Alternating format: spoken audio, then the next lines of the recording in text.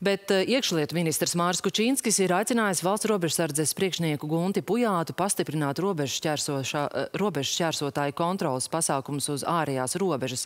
Vienlaikus ministrs norāda, ka valsts robežsardze sadarbojoties ar Frontex un citiem Latvijas dienestiem jau šobrīd strādā intensīvā režīmā. Uz valsts robežas situācija ir bez izmaiņām, gan, gan to var teikt arī Krievijas pusē nekādas jaunas kādas kustības nav. Protams, mēs esam nedaudz pastiprinājuši modrību režīmu un gatavi arī kādiem iespējamiem vai nepieciešami vai, vēl vairāk pastiprināt, bet pagaidām nekāda pamata nav. Robežsargi sazinājušies ar nacionāliem bruņotiem spēkiem. Nu, faktiski viss tādā gaidīšanas un modrības režīmā.